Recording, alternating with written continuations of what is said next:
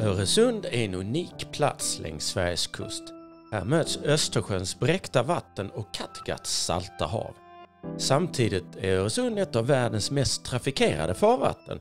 Varje år passerar mellan 35 000 och 40 000 fartyg här. Just där sundet är som smalast ligger Helsingborg. Här är det mindre än 4 000 meter mellan Sverige och Danmark.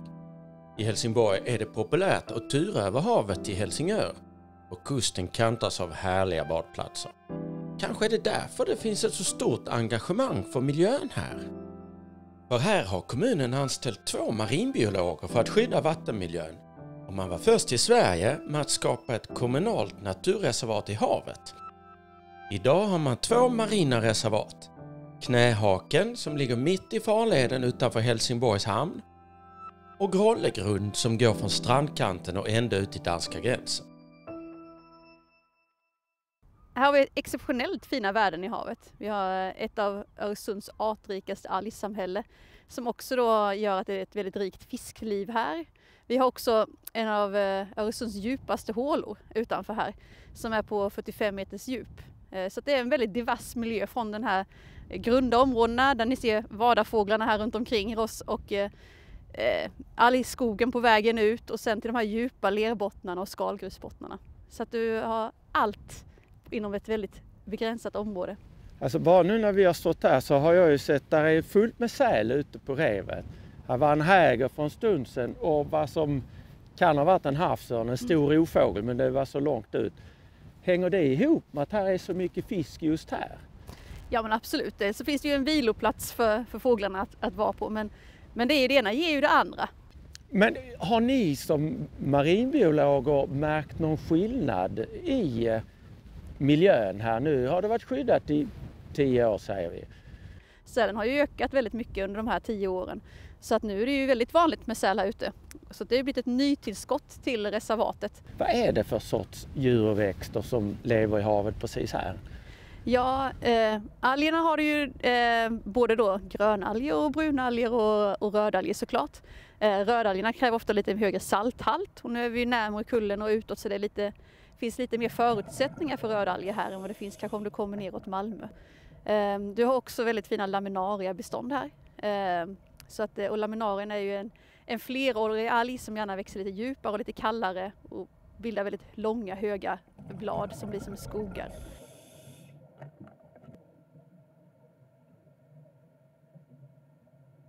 Vad är det för sorts fisk som finns här?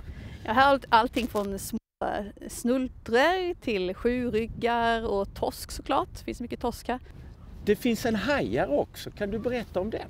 Ja, småfläckig rödhaj. Det är en lite spännande art. Den, är, den blir inte jättestor, ingenting som biter dig i tårna eller så. Eh, men den bor här ute och den är ju rödlistad. Eh, och eh, anledningen att den är här mycket det är ju för att de lägger sina ägg bland algerna och kan då fästa dem vid, vid algerna, algsamhället som finns här. Och så finns det mycket mat mycket musslor och kräftdjur och annat som den kan söka föda då och hitta.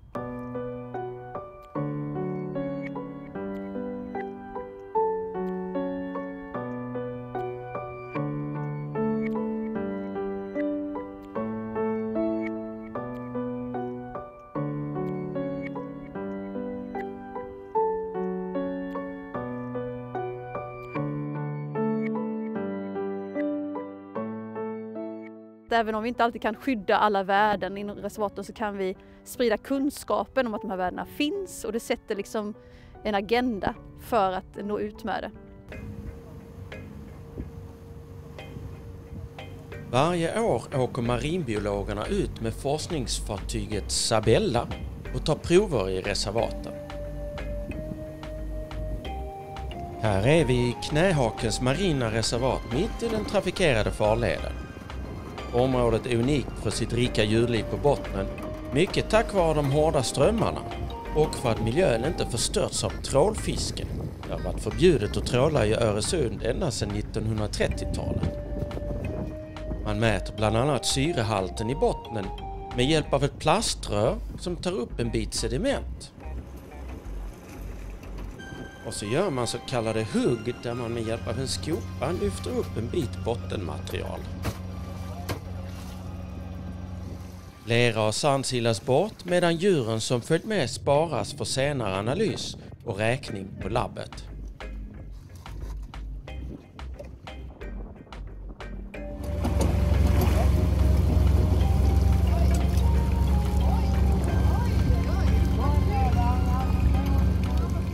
Vid ett av tillfällena fastnar en sten i skopan. På stenen bor den orangea mjukkorallen Dödmans hand och en havsnelika som dragit in sina dammvippeliknande tentakler i den röda kroppen. Mellan dem syns ormstjärnornas armar. Det är en sorts sjöstjärnor. Det är svårt att dyka vid knähaken både på grund av den kraftiga strömmen i vattnet och den livliga fartygstrafiken. Vi lyckas ändå komma ner för att filma vid ett sjömärke i kanten av reservatet. Och trots att strömmen och den dåliga sikten tvingar oss att stanna nära sjömärkets ankare och kätting möts vi av massor med liv. Musslor suger in och filtrerar vatten i jakt på näring och blir samtidigt hem för små vita havstulpaner. Det är kräftdjur som bygger kalkskal där de ligger med benen ut och viftar för att fånga mat. Här finns också massor av eremitkräftor som inte har egna skal utan lånar övergivna skal från döda snäckor.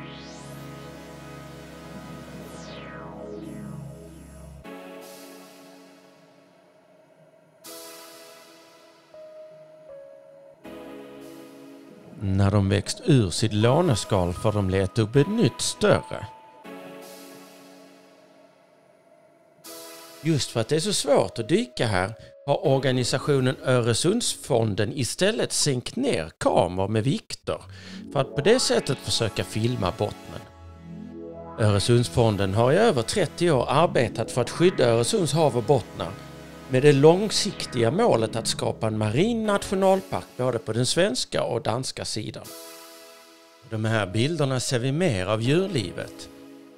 De stora musslorna är hästmusslor, typiska för knähaken. Här ser du till exempel flera olika ormstjärnor. Och de orangea luddiga sakerna det är kolonier av mjukkorallen Dödmans hand där varje litet vitt strå är fångstarmarna från ett koralldjur. Koraller i Öresund, ja men vilken grej! Tänk om vi tillsammans kunde skydda den här unika undervattensmiljön.